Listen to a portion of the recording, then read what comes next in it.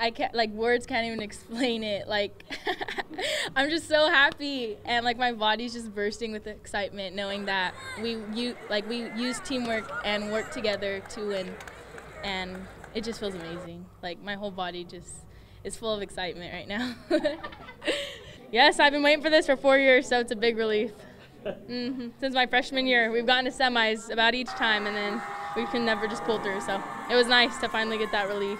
It was really exciting. I didn't think it was going to be like this big of a crowd, this big of an arena, but it was really good. What an um, what an experience! I felt like the two years that we had together, just we were bound to get it, get here, and finish it off with the Valley title. I feel like we worked hard enough to get this Valley title and send our nine seniors out with the Valley, a Valley title.